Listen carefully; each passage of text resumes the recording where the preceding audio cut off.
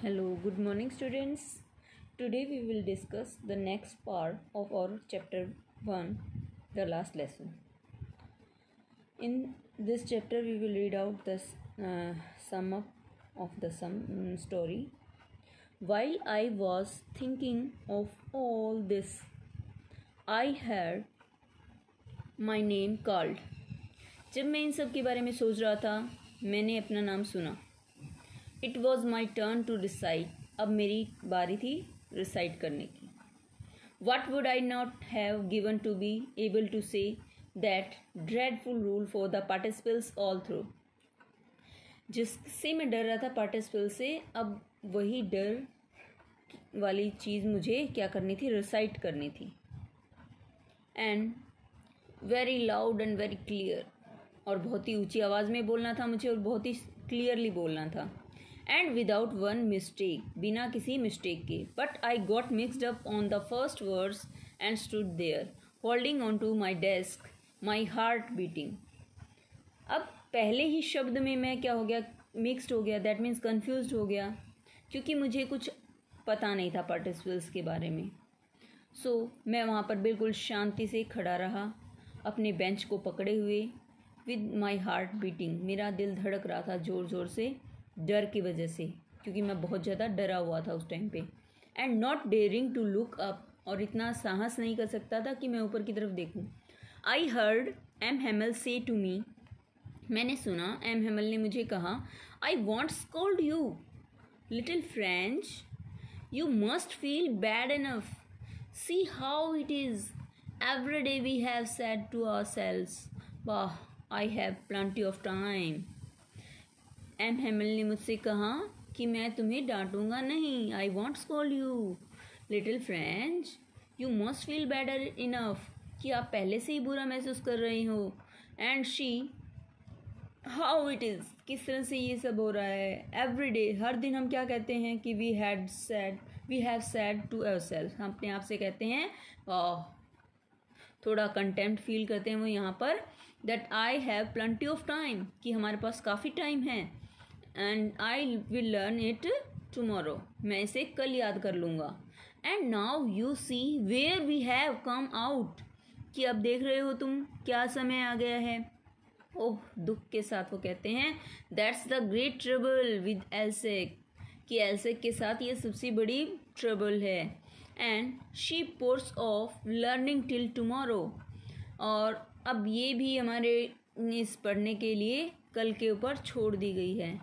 Now those fellows out there will have the right to say you कि अब जो बाहर से जो फेलो आएँगे दैट मीन्स जो पर्सनस आएँगे, यहाँ पर वो कहेंगे, उनके पास ये राइट होगा। हाउ इज़ इट कैसा है ये?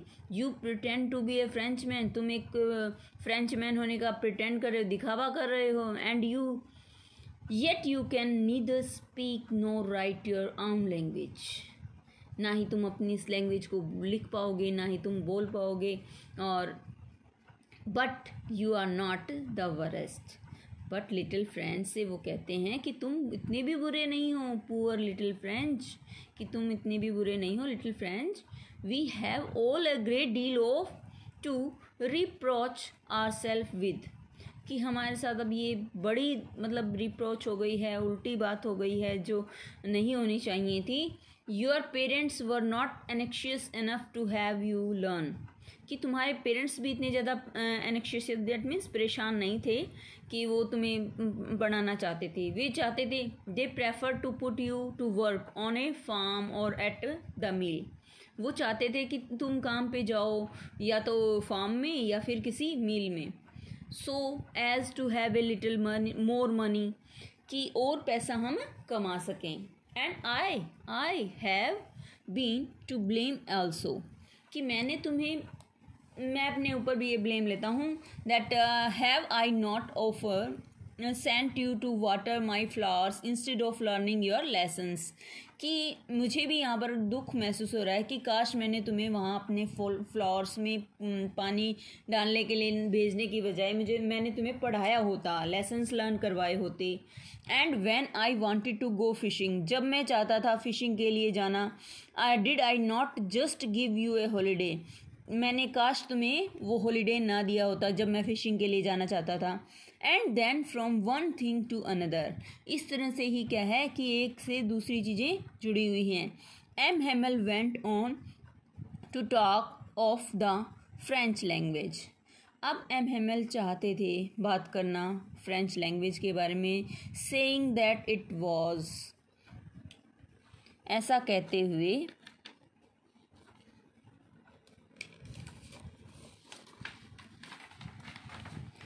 saying that it was the most beautiful language in the world कि फ्रेंच लैंग्वेज क्या है? कि बहुत ही सुंदर लैंग्वेज है वर्ल्ड की। एंड द क्लियरेस्ट बहुत ही क्लियर है। एंड मोस्ट लॉजिकल बहुत ही ज़्यादा लॉजिकल है। And that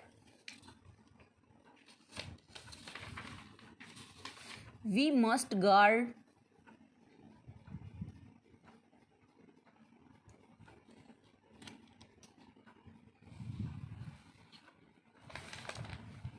we must guard it among us कि हमें इसे बचा करके रखना चाहिए एंड नेवर फॉरगेट इट और इसे भूलना नहीं चाहिए। Because when a people are enslaved जब लोग क्या हो जाते हैं?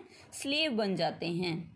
And as long as they hold fast to their language यदि उनकी लैंग्वेज पे पकड़ रहती है, यानी कि उनकी लैंग्वेज उन्हें अच्छे तरीके से आती है इट इज़ एज इफ़ ये ऐसे होता है they had the key to their prison कि उनकी चाबी प्रिजन की चाबी उनके पास होती है, जिससे वो अपने ताले को खोल करके उस प्रिजन से बाहर निकल सकते हैं। तो लैंग्वेज पे होल्ड होना उतना ही इम्पोर्टेंट है, जैसा कि आपके पास प्रिजन की चाबी, यानी कि आज़ादी की चाबी आपके पास होती है। Then he open a grammar and read us our lesson तब उन्होंने ग्रामर बुक ओपन की और हमें हमारा लेसन रीड करवाया। I was amazed to see how well I understood it मैं इस बात के लिए बिल्कुल अमेज था सरप्राइज़ था दैट किस तरह से, कितने अच्छे तरीके से how well I understood it कितनी अच्छे तरीके से आज का लेसन मैं सीख रहा था। All he said seemed too easy कि जो भी उन्होंने कहा, वो सब मुझे बहुत ईजी लग रहा था आई थिंक टू मैं सब, मुझे भी ऐसा ही लग रहा था that I had never listen to so carefully कि मैंने शायद से इतने ध्यान से कभी नहीं सुना था and that he had never explain everything with so much patience और इस तरह से इतने धैर्य से के साथ पेशेंस के साथ उन्होंने शायद कभी ऐसे एक्सप्लेन भी नहीं किया था। It seemed almost as if the poor man wanted to give us all he knew before going away कि ऐसा लग रहा था जैसे वो पुअर मैन यहाँ पर इंडिकेट कर रहा है एम हेमल के बारे में, जैसे वो चाहते हैं कि जितना भी वो जानते हैं, वो सब हमें देना चाहते हैं। यानी कि जितनी भी नॉलेज उन्हें है फ्रेंच लैंग्वेज के बारे में, वो हमें आज सब कुछ पढ़ा देना चाहते हैं। And to put it all into our heads at one stroke और ये सब कुछ हमारे दिमाग में आज एक साथ वो डाल देना चाहते हैं। आफ्टर द ग्रामर ग्रामर के बाद we had a lesson in writing grammar के बाद हमने राइटिंग का काम किया and that day M Hamel had new copies for us उस दिन एम हेमल हमारे लिए नई कॉपियाँ लेकर के आए थे and written in a beautiful round hand round head में, यानी कि बहुत ही सुंदर राइटिंग में उसके अंदर लिखा हुआ था France Alsace France Alsace they looked like little flags वो ऐसे लग रहे थे जैसे छोटे छोटे झंडे हों। फ्लॉटिंग एवरीवेयर लहरा रहे हों हर जगह। In the school room school room में। हंग फ्रॉम द रोड लटके हों किसी रोड से। रोड दैट मीन्स किसी डंडे से। At the top of our desk हमारे डेस्क के टॉप पे। You ought to have seen how every one set to work कि आपने अवश्य देखा होगा कि सब लोग काम में लगे हुए थे and how quiet it was कितनी शांति थी आज। And the only sound was the stretching of the पे पेंस ओवर द पेपर केवल एक ही साउंड आ रही थी पेपर के ऊपर पेन घिसाने की। And once some beetles flew in कुछ बीटल्स यानी कि कुछ भवरे वहाँ पर आ जाते हैं but nobody paid any attention to them कोई भी उसे अटेंशन पे नहीं करता है उन भवरों को, उन बीटल्स को। Not even the littlest one छोटे छोटे बच्चे भी उनकी तरफ़ ध्यान नहीं देते हैं। Who worked right on the tracing their fish hooks वो अपने फ़िश हुक्स को बनाने में इतने बिज़ी हैं कि वो किसी और चीज़ की तरफ़ ध्यान नहीं दे रहे हैं। As if that was French too ऐसे ही फ्रेंच भी बिज़ी हैं। On the roof the pigeons cooed very low जो छत के ऊपर कबूतर बैठे हैं, वो भी लो साउंड में कू। दैट मीन्स अपनी गुटर गू कर रहे हैं। And I thought to myself मैं अपने आप में सोच रहा हूँ will they make them sing in German even the pigeons क्या वो इन पीजन्स को भी जर्मन लैंग्वेज में सिंग करना दैट मीन्स कू की आवाज़ करना सिखा देंगे? Whenever I looked up from my writing जब कभी भी मैं जब मैं अपनी राइटिंग से ऊपर की तरफ़ देखता M Hamel sitting motionless in his chair M Hamel बिल्कुल मोशनलेस दैट मीन्स कोई हरकत, हिल नहीं, डुल नहीं रहे थे, वो बिल्कुल शांत बैठे हुए थे अपनी चेयर के ऊपर. And gazing first at one thing पहले एक चीज़ की तरफ़ देखते हैं देन एट अनदर तब दूसरी चीज़ की तरफ़ देखते हैं। As if he wanted to fix it in his mind ऐसे लग रहा था जैसे वो अपने माइंड में सब चीज़ों को सेट कर रहे हैं। Just how everything looked in that little school room कि जैसे ये छोटे स्कूल रूम में दिखाई दे रहे हैं। Fancy for forty years he had been there in the same place और ये इनकी एक फैंसी के रूप में हम कह सकते हैं कि फोर्टी ईयर्स से जो उन्होंने पागलपन यहाँ पर दिया कि वो सेम प्लेस पर बने रहे विद हिज गार्डन आउटसाइड उनका गार्डन बाहर की तरफ़ था। विंडो से वो देख रहे थे and his class in front of him और उनकी जो क्लास है, उनके सामने है, बिल्कुल गार्डन के, उनके गार्डन के। And just like that only the desk and the benches had been worn smooth कि जो बेंच और डेस्क हैं, वो थोड़े से स्मूथ हो गए हैं इन फोर्टी ईयर्स में। बाकी सब चीज़ें क्या हैं? सेम हैं, जैसा कि स्टार्टिंग में था। And the win trees in the garden were taller जो वॉलनट पेड़ ट्रीज हैं, वो अब गार्डन में क्या हो गए हैं? बहुत लंबे हो गए हैं। And the hop vine tree that he had planted himself to trend about the windows of to the roof कि विंडो से चलते हुए होप वाइन की जो बेल है, वो ऊपर छत तक पहुँच गई है। How it must have broken his heart to leave it all कि कितना उनका दिल दुखी हो रहा होगा इस टाइम पे, जब उन्हें ये सब छोड़ना पड़ रहा है।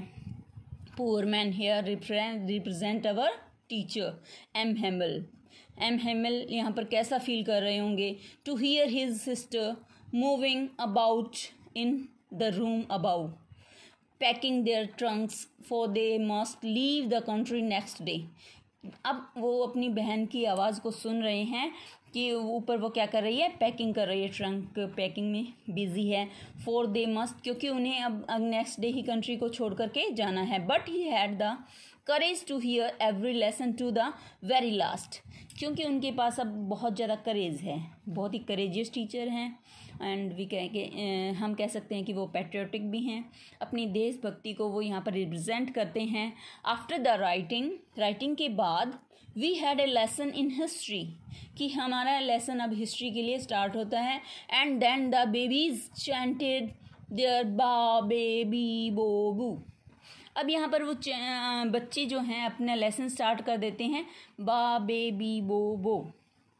Down there at the back of the room old Hauser had put on his spectacles अब जो बूढ़े होजन हैं, वो अपना चश्मा लगाते हैं and holding his primer in both hands अपनी जो सबसे फ़र्स्ट बुक है, वो अपने हाथ में लिए हुए हैं spelled the letter with them अपने और शब्दों को जोड़ करके पढ़ते हैं वो। You could see that he too was crying आप देख सकते हैं कि वो भी रो रहे हैं। His voice tremble with emotion उनकी आवाज़ क्या हो गई है? अब कप कप आ रही है इमोशन की वजह से। जो इमोशन देशभक्ति के लिए यहाँ पर फीलिंग आ रही है कि वो अब अपनी लैंग्वेज को रीड नहीं कर पाएँगे या फिर दूसरों को बता नहीं पाएँगे। And it was so funny to hear him that we all wanted to laugh and cry और ये थोड़ा सा फ़नी भी लगेगा कि हम हंसना भी चाहते थे, क्योंकि जो आवाज़ है होज़र की ओल्ड होज़र की, उसको सुन करके हमें हँसी आ रही थी। और रोना इसलिए आ रहा था, यहाँ पर जो एम्बिग्यूटी थी प्रॉब्लम यहाँ पर ये आ रही थी कि दो, हम दो, हंसना भी चाह रहे थे और रोना भी चाह रहे थे। रोना इसलिए चाह रहे थे क्योंकि हमारी लैंग्वेज यहाँ से हमारे पास, हमारा टीचर जा रहा था। लैंग्वेज हमसे छूट रही थी। दुख की बात है। How well I remember it and that last lesson और मुझे ये लेसन आज भी इतने अच्छे तरीके से याद है। और जो हमारा लास्ट लेसन था फ्रेंच का। All at once the church clock struck twelve उसी समय चर्च क्लॉक का जो घंटा है ट्वेल्व ओ क्लॉक पे स्ट्रक होता है। Then the Angelus at the same moment the trumpets of the Persian returning from drill sounded under our window अब जो पर्शियन सोल्जर्स हैं ड्रिलिंग करके वापस आ रहे हैं, वो वो अपना ट्रम्पेट वहाँ पर बजाते हैं। M Hamel stood up M Hamel खड़े हो जाते हैं वेरी पेल थोड़े दुखी मन से. इन हिज चेयर अपनी चेयर के सामने I never saw him look so tall मैंने उन्हें इतने लंबा मतलब हाइट के अकॉर्डिंग हम गए कि वो, क्योंकि मैं आज उनके बिल्कुल पास खड़ा था. कभी भी ऐसा नहीं होता था कि मैं उनके पास खड़ा होता था. तो आज मुझे वो बहुत लंबे दिखाई दे रहे थे. दैट मीन्स कि मेरे बिल्कुल पास थे. माई फ्रेंड सैड ही मेरे फ्रेंड्स ने कहा कि सॉरी, उन्होंने कहा, he stand sell for M Hamel उन्होंने इंडिकेट करते हुए कहा रिप्रेजेंट करते हुए कहा कि माय फ्रेंड्स मेरे दोस्तों, आए आए, और इतना कहते ही वो चुप हो गए। बट समथिंग चॉकड हिम किसी मतलब अंदर से जो इमोशंस थे, उनकी वजह से वो कुछ बोल नहीं सके। उनका गला रुक गया। Then he turned to the blackboard और तब वो ब्लैक बोर्ड की तरफ़ टर्न हो गए। टुक ए पीस ऑफ़ चौक उन्होंने एक चौक का टुकड़ा उठाया bearing on with all his might अपनी पूरी ताकत के साथ। He wrote as large as his good इतना लंबा जितना बड़ा वो लिख सकते थे, उन्होंने लिखा we were law friends that means live long friends कि फ्रेंड्स तुम जीवित रहो, तुम हमेशा आबाद रहो। Then he stopped and leaned his head against the wall और तब वे रुक गए और अपना हेड मतलब दीवार की तरफ़ झुकाते हुए एंड विदाउट ए वर्ड बिना शब्द कहे ही made a gesture to us उन्होंने ऐसा मतलब जेस्टर पे किया हमें कि विद हिज हैंड अपने हाथ के साथ that school is dismissed school क्या हो गया अब? ख़त्म हो गया है। डिसमिस मतलब अब जो छुट्टी का टाइम डिपार्चर का टाइम हो गया है एंड यू मे गो और हम जा सकते थे। So students we will meet in the next uh, our next poem first poem. Okay? Have a nice day. Thank you